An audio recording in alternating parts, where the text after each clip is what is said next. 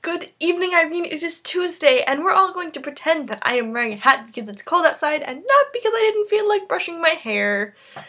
Alright.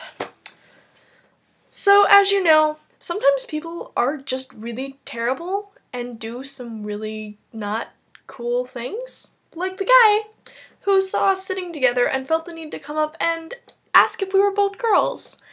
And then, once he decided that yes, we were, go, oh, well, I guess the appropriate thing in this situation to do is just not say anything and walk away like he was a nice guy for not doing what? I don't know.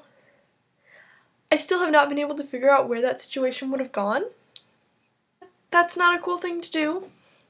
It's also not cool to slip things into people's drinks, which, as you know, someone tried to roofie my friend and succeeded in getting the drugs into her system, did not succeed in taking her anywhere because she, being the designated driver and not being drunk, felt it when the drugs entered her system and got her friend to get her out of there.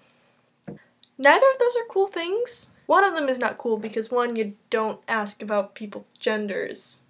Two, you especially especially don't ask random strangers about their genders. Like if you have no reason to talk to them, asking about their gender is not necessary or appropriate at all. And slipping drugs into someone's drink is never okay. Don't do that.